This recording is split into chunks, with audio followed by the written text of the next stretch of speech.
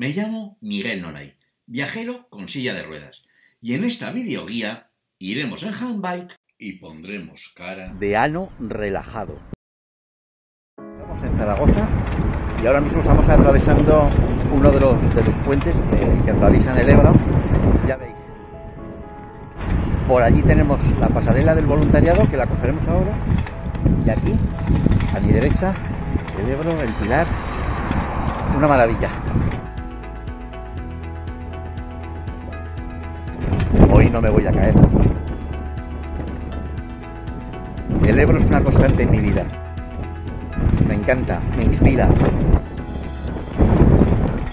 Volvemos a cruzar de nuevo el Ebro desde la margen izquierda a la margen derecha y bueno, la verdad que las vistas son una maravilla. Pero ahora vamos por la margen derecha del río, ya camino de casa y aguas arriba.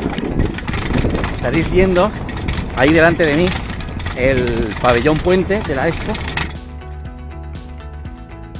y allí a mi derecha están los, pues también los antiguos terrenos de la Expo.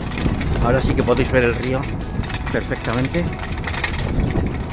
Seguimos en la margen derecha del río, aguas arriba, y este puente que tenéis aquí es el puente del tercer milenio.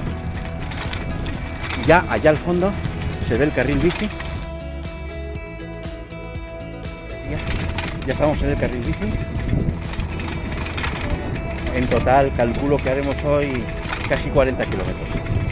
Con la handbike Attitude, practicando handbike y haciendo gestiones por Zaragoza, que estaba de maravilla. ¿Cómo no voy a estar enamorado del Ebro con estas vistas tan inspiradoras? Me gusta ser como el agua, que puede con todo, que tira con todo, que no tiene barreras ni tiene fronteras. El Ebro, el agua, yo. Estas vistas, ahí está el Ebro, las vamos a llevar durante un poquito más de un kilómetro. Llevo el aire a la contra del cierto que tenemos aquí en Zaragoza, así que es complicado. Lo cierto es que el paseo es una maravilla.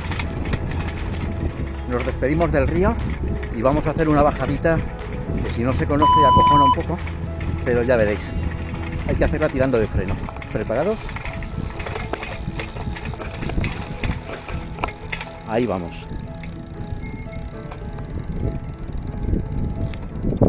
Hay que tirar de freno porque además vamos a parar una carretera que pueden venir coches. Por la izquierda lejos vienen, por la derecha no viene nadie. Bueno amigos, estamos llegando al puente.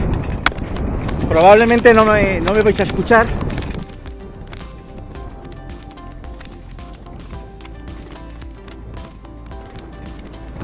Perdón por el movimiento, pero tengo que usar las dos manos. Y vamos a poner tope de asistencia pero con un piñón rápido. ¿eh? Ya veréis, ahora llevamos toda la asistencia que permite la, la Jamai. Y en principio, pues eso, que voy a necesitar las dos manos, pero no tendremos mayores problemas para, para subir. Ya veis, eh, parece menos de lo que es, es muy larga y yo creo que tendrá pues un 13, un 12, un 13%. Ahora llegamos al puente y ya podemos quitar la asistencia, sortear los baches que hay y bajar muy despacito porque tenemos aire a la contra, es cierto y es peligroso. Disfrutad conmigo, estamos bajando el segundo puente y la verdad es que las vistas son espectaculares, sencillamente espectaculares. Estoy tirando de freno porque con el aire lateral, fronto lateral, es muy peligroso. Porque además por aquí vienen coches y a mí me gusta, aunque tenga todos los derechos que me pertenezcan, para mí es importante la vida. Y si tengo que ceder, pues cedo, sin más problema, es cuestión de educación. Bueno, mirad, de aquí, de aquí paramos de momento, vamos por por toda la huerta. Son aproximadamente unos 9 o 10 kilómetros los que tengo hasta casa. No sé si lo llegáis a ver. Yo creo que os lo tapa el sol. pero ya marca 27 kilómetros y medio, así que sí, serán 37, 38. Mirad, esta es una de las partes que más me gustan. Este árbol, ya veis que vamos por una campiña y hay que tener cuidado a los baches. ¿vale? Voy a cogerlo con las dos manos porque no sé si lo veis aquí delante, pero hay unos baches complicados con una handbike, con una bicicleta estándar no, porque levantan el culete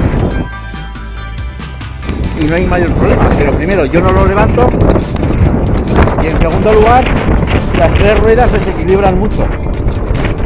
Bueno, ya veis, precioso. Gracias a todos por acompañarme. Como mola.